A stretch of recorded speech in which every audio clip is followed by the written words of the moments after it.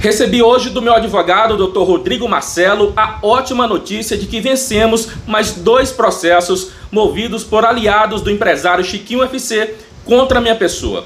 Eles estão doidos tentando me censurar, mas a justiça tem agido corretamente e garantido a liberdade da imprensa.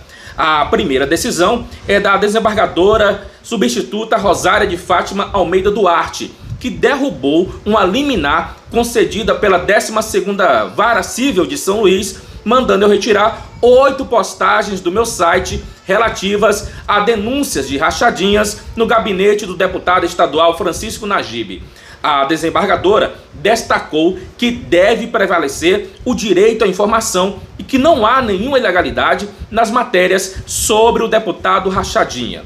O segundo processo que ganhei foi movido pelo Partido Solidariedade, que tem como presidente o senhor Roberto Cobel, aliado de primeira hora do empresário Chiquinho FC. Eles ficaram irritados com a matéria sobre a doação de um caminhão novo adquirido pela Codevasf para o Instituto UFC, do empresário Chiquinho FC, e pediram à justiça que a publicação fosse excluída. A nova tentativa de me censurar não foi aceita pelo juiz eleitoral Irã Curban Filho, que indeferiu o pedido do partido de Roberto Cobel. E você aí?